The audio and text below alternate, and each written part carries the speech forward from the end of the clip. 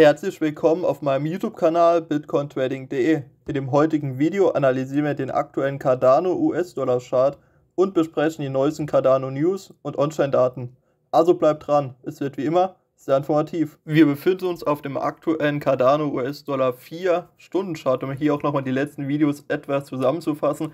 Die liegen ja schon hier etwas länger zurück. Also ihr wisst, als wir hier bei der 1,50 Marke waren, habe ich ja darauf hingewiesen, dass wir hier einen Überkauf in RSI haben und auch hier schon den stochastischen RSI über dem 9 Level haben und dass eben gleichzeitig auch hier die 1,55 Marke eine starke Resistance ist und ich deswegen hier erst nochmal eine Ablehnung erwarte das seht ihr hier noch in dem letzten Video. Da haben wir gesagt, wenn wir hier eben abgelehnt werden, dann erwarte ich hier den Ausverkauf nochmal runter in unsere Reakkumulierungszone hier. Also das war circa die 1,20 Zone hier auf dem 4-Stunden-Chart. Wie ihr seht, ist das auch passiert. Wir hatten hier einen heftigen Ausverkauf nochmal.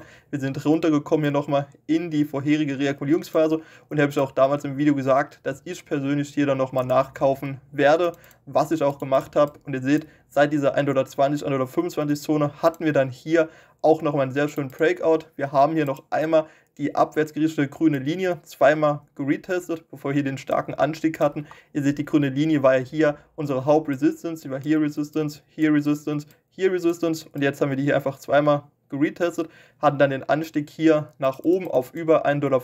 Das heißt, wer so hier dann auch die Chance genutzt hatte, nochmal bei 1,20 Dollar, 1,25 Dollar reakkumuliert hat, hat hier dann ungefähr bis zur Spitze 26% mitgenommen. Aktuell hier immer noch ungefähr 22%. Und da sieht man auch einfach, obwohl Bitcoin, Ethereum hier seitwärts laufen, der gesamte Markt eher am Korrigieren ist, wenn man hier seine Aufmerksamkeit auf die richtigen Altcoin-Projekte legt, wie beispielsweise Cardano oder auch Polygon, wo wir einen 20% Short und nochmal einen 20% Long mitgenommen haben, kann man es hier trotzdem schaffen, obwohl eben der Markt in dieser langweiligen Phase ist, immer noch gute Profite zu realisieren. Das heißt also, wenn wir jetzt zurückkehren auf den aktuellen Chart, auf die aktuelle Situation, muss ich ganz klar sagen, für alle, die jetzt hier die Chance verpasst haben, bei 1,20 Dollar nochmal einzusteigen, jetzt aktuell würde ich hier oben nicht einsteigen, also jetzt hier keine FOMO bekommen, denn ihr seht, wir haben hier nochmal dieselbe Situation. Der RSI ist hier massiv überkauft, der stochastische RSI ist hier auch schon über dem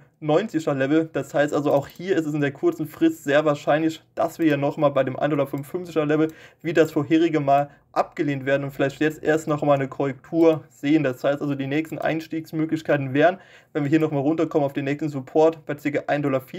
Hier schaffen die 1,40 Dollar als Support zu bestätigen. Dann könnten wir hier nochmal eine Aufwärtswelle Richtung 1,60 Dollar sehen. Das heißt also hier könnte man einen nächsten Long eingehen, ist aber auch sehr riskant. Ich persönlich würde eher darauf warten, ob wir nochmal runterkommen hier auf die 1,30-Zone und würde dann hier nochmal einsteigen. Das Wichtigste ist einfach nur, dass wenn wir jetzt hier die Korrektur sehen, wir nicht unter die vorherigen Tiefs hier fallen, damit wir einfach diesen Aufwärtstrend bestehend aus höheren Hochs und höheren Tiefs in der kurzen Frist fortsetzen können. Denn ihr seht auch, wenn wir uns jetzt hier nochmal im Bild anschauen, meiner Meinung nach sieht das hier sehr danach aus, als hätte Cardano hier unten bei 1 Dollar seinen Boden gefunden. Wir haben einmal hier diesen Boden, diesen Boden. Das könnte also hier wirklich ein Doppel-Button-Pattern gewesen sein, sodass Cardano insgesamt hier im übergeordneten Trend schon seinen Boden erreicht hat. Man könnte das Ganze, wenn man möchte, auch hier als großes V-Pattern darstellen. Wenn das ein V-Pattern sein sollte, müssen wir auch warten, bis wir hier oben die 1 Dollar 60 gebrochen haben. Das wäre dann hier auch nochmal für alle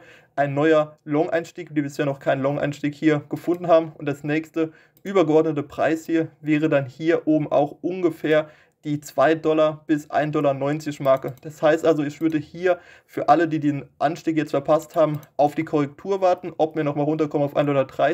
Wenn dies nicht geschehen sollte, dann würde ich hier auf einen Resistance Flip warten. Das heißt also, entweder dass hier die 1,40 Dollar Support werden, nachdem wir sie hier bestätigt haben nach einem erfolgreichen Retest, oder dass wir es eben schaffen, hier oben über die vorherige Resistance auszubrechen, dann würde ich hier von 1,60 Dollar auf 1,90 Dollar nochmal long gehen. Dann blicken wir jetzt noch auf den Cardano US-Dollar Tageschart und hier könnt ihr sehen, wir haben es jetzt mit der aktuellen Tageskerze geschafft, hier diesen Abwärtstrend vorerst zu preschen. Ihr wisst ja, hier wurden wir schon sehr oft abgelehnt, aber das ist hier nur die halbe Miete. Worauf es jetzt wirklich ankommt, ist, dass wir jetzt schaffen, das letzte tiefere Hoch über, zu übertreffen. Das heißt also, wir möchten jetzt sehen, dass wir es hier wirklich schaffen, über die 1,60 Dollar Marke, dann von oben diesen grünen Kasten nochmal antesten, das heißt also hier die vorherige Resistance als Support bestätigen. Das wäre dann hier auch nochmal ein neuer Long Entry und das nächste Ziel wäre dann hier auch 1,80 Dollar bis 1,90 Dollar. Das wäre dann hier nochmal ein Anstieg von ungefähr 15 Prozent. Darüber haben wir auch in dem letzten Video besprochen. Hier haben wir auch gesagt, der erste Schritt ist es, den Abwärtstrend zu preschen. Das haben wir jetzt gesehen, aber das ist eben nur die halbe Miete. Wir müssen es schaffen, das letzte tiefere Hoch auch zu übertreffen und als Support zu bestätigen, wenn wir wirklich hier auf dem Tageschart bullish sein möchten. Das steht uns hier also noch so vor. Wir müssen es jetzt schaffen, hier den erfolgreichen Retest zu absolvieren. Gleichzeitig sehen wir hier aber auch, was sehr interessant ist, ihr seht, wir haben einmal auf dem Chart hier ein Tief und ein tieferes Tief, währenddessen hier der MACD ein Tief und ein höheres Tief hat. Das heißt also, wir haben jetzt hier eine bullische Divergenz bei dem MACD. Das heißt also, dass wir jetzt hier mit bullischem Momentum rechnen können, was dazu führen sollte, dass wir es hier vielleicht schaffen, in den nächsten Wochen wirklich über die 160 hier auszupreschen, wir ein Momentum-Shift sehen und dann hier nochmal einen neuen Aufwärtstrend starten.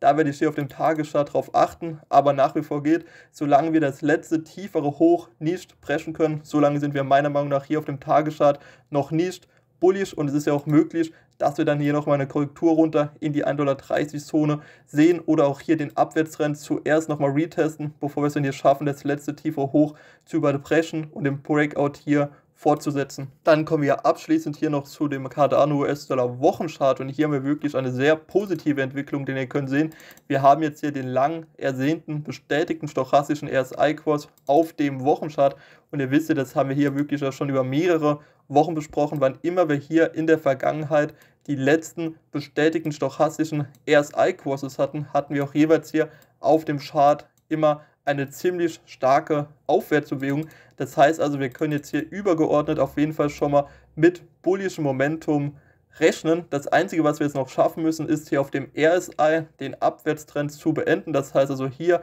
über die rote Linie zu steigen, hier dann nochmal auch höhere Hochs und höhere Tiefs zu sehen und gleichzeitig möchten wir es auch nochmal schaffen, über die 21er EMA zu steigen. Diese befindet sich schon momentan auch bei 1,65 Dollar. Das heißt also, wenn wir es hier schaffen, jetzt noch auf dem RSI den Abwärtstrend zu beenden und hier nochmal über die 1,65 Marke, also über die 1 EMA zu steigen, dann rechne ich hier auf dem Wochenchart damit, dass wir übergeordnet bereit sind, hier die nächste größere Aufwärtsbewegung zu absolvieren. Dann blicken wir jetzt hier noch auf den 4-Stunden-Chart, auf den Lux-Algo-Indikator und vielleicht erinnert sich der eine oder andere noch an das letzte Video vom 2. Januar. Hier habe ich ja unter dem Abschnitt Cardano Kaufsignal Fragezeichen eben gesagt, dass wir hier auf dem 4-Stunden-Chart höchstwahrscheinlich kurz vor einem bestätigten Kaufsignal stehen und wir die nächste Aufwärtsbewegung hier oben in die oberen Reversal-Bänder sehen werden. Und wie ihr seht, ist genau dies jetzt geschehen. Wir hatten hier das bestätigte Long-Signal bei ca. 1 Dollar 26. Ihr seht, der Trend Catcher ist grün, die Kerzen sind grün, somit ist hier das Kaufsignal bestätigt. Wir hatten dann hier einen Anstieg bis nach oben von 24%, ganz genau in die oberen Reversal-Bändern, wie wir es hier besprochen haben. Das heißt also, wir haben jetzt hier auf dem 4-Stunden-Chart ganz klar starke Resistance. Das heißt, für alle, die diesen Trade hier mitgenommen habt, haben, ihr habt 24% gemacht, holt hier oben jetzt eure Profite raus. Das würde ich zumindest machen, denn die Wahrscheinlichkeit ist hoch, dass wir jetzt hier an den oberen Reversal-Bändern erstmal nochmal ein bisschen abgelehnt werden und eine kleine Korrektur sehen. Wenn wir dann hier noch weiter auf den Tagesstart wechseln, hier nochmal die Sensitivität wie empfohlen auf 14 anpassen, dann seht ihr auch hier, dass wir jetzt hier auch ein bestätigtes Long-Signal hatten bei 1,26 Dollar und darüber habe ich ja auch in dem letzten Video hier besprochen, dass sich hier höchstwahrscheinlich ein Long-Signal nochmal anbahnen wird. Nur war das hier eben noch nicht bestätigt, denn die Kerzen waren hier noch nicht grün. Aber wie ihr sehen könnt, sind die Kerzen hier grün geworden. Wir hatten dann das bestätigte Kaufsignal und seitdem dann hier auch schon ein Anstieg von auch ungefähr 18 Prozent. Und was hier das Besondere ist, ihr seht, das ist hier jetzt nochmal das erste bestätigte Long-Signal, seitdem wir hier oben die Reversal-Bänder erreicht haben. Hier oben bei ca. 2,85 Dollar. Das heißt, also, das ist jetzt hier das erste bestätigte Long-Signal nochmal seit ungefähr 130 Tagen. Und das könnte eben auch dazu führen, dass wir jetzt hier wirklich ein Momentum-Schiff sehen, diese Korrektur beendet ist und es jetzt hier nochmal langsam hochgeht in Richtung der 1 Dollar 90. Aber wie gesagt, auf dem 4-Stunden-Chart haben wir hier die oberen Reversal-Bänder erreicht. Das heißt, wir rechnen jetzt erstmal noch in der kurzen Frist mit Korrektur. Das heißt also auch hier, ich würde jetzt nicht einsteigen. Ich würde jetzt die Korrektur abwarten, wie wir das vorhin auch bei der klassischen Chartanalyse besprochen haben, bis wir sehen, dass entweder nochmal Resistance zu Support flippt oder wir runterkommen auf 1,30 Dollar und dann würde ich persönlich erst nochmal einsteigen. Jetzt persönlich würde ich hier keinen FOMO-Kauf vornehmen kommen wir jetzt zu den Cardano News und On-Chain-Daten und hier sehen wir auch das große Event, was fundamental dafür verantwortlich war, dass wir jetzt den Cardano-Anstieg gesehen haben, obwohl der Markt ja insgesamt eher noch am Korrigieren ist und das hat damit zu tun, dass SundaeSwap jetzt hier sein Mainnet-Launch verkündet hat. Wir haben hier einmal einen Kalender mit den wichtigen Daten. Ihr seht, am 20. Januar wird hier SundaeSwap live gehen, ist aber noch eine Beta-Funktion hier der DEX. Und ihr seht auch am 20. Januar gleichzeitig startet dann hier auch das Yield Farming für die Sunday Token und ab dem 25. kann man hier auch bei dem ISO mitnehmen. Dafür muss man eben hier seine Cardanos einloggen, damit man dann hier auch die Token bekommt. Das sind also jetzt hier in der kurzen Frist die wichtigsten Daten und man muss natürlich auch sagen, wie gesagt, das ist hier noch eine Beta-Version. Das heißt also, wahrscheinlich wird es hier noch nicht 100% reibungslos laufen. Und vor allem, was auch ganz wichtig ist, da finde ich hier diesen Twitter-Post sehr gut, Cardano ist momentan schon sehr ausgelastet, was ja die Skalierungsmöglichkeiten angeht. Ihr seht, wir sind hier teilweise schon zu 82% ausgelastet und das, obwohl SundaeSwap noch nicht gelauncht ist. Das heißt, wir können davon ausgehen, sobald SundaeSwap live geht, dass Cardano höchstwahrscheinlich überlasten wird, weil es momentan einfach noch nicht genug skalieren kann und dass es dann auch dazu kommen kann, dass der ein oder andere Nutzer schlechte Erfahrungen hier kurzfristig machen mit SundaeSwap, weil wahrscheinlich die ein oder anderen Swaps nur sehr verzögert funktionieren werden. Das heißt also, in der kurzen Frist jetzt erstmal ist es natürlich hier sehr positiv, dass SundaeSwap jetzt am 20. Januar hier seinen Mainnet-Launch hat, weil einfach jeder darauf gewartet hat, dass wir hier endlich die erste große Deck sehen aber in den nächsten Wochen könnte es jetzt so extrem viel FAT-Nachrichten kommen, dass Cardano eben nicht skalieren kann und dass die Anwendungen, also die dezentralen Applikationen auf Cardano nicht funktionieren, weil hier einfach die Skalierung nicht nachkommt. Das ist einfach wichtig zu wissen. Das heißt also, es könnte hier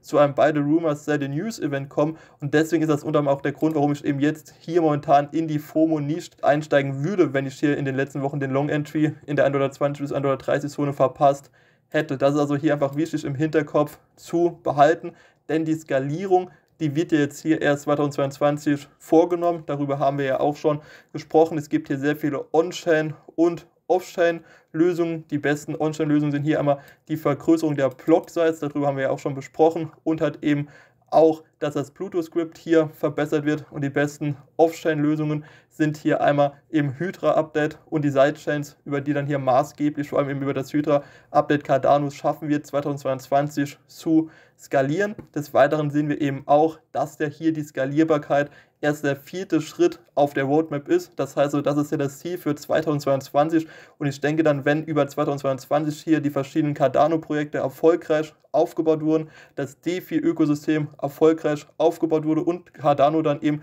durch diese ganzen verschiedenen Lösungen hier skalieren kann, dass wir dann das Potenzial haben, hier nochmal auf das letzte Allzeithoch und darüber hinaus eben zurückzukehren. Das war's schon wieder mit dem heutigen Video. Wenn dir dieses Video gefallen hat und ich dir in diesem Video einen Mehrwert bieten konnte, würde ich mich extrem freuen, wenn du mich jetzt kostenlos unterstützt und meinem Kanal ein kostenloses Abo da lässt und die Glocke aktivierst und auf alle stellst, sodass du immer eine Benachrichtigung erhältst, wenn ich auf meinem Kanal ein neues Video uploade. Ich danke dir für deine Aufmerksamkeit.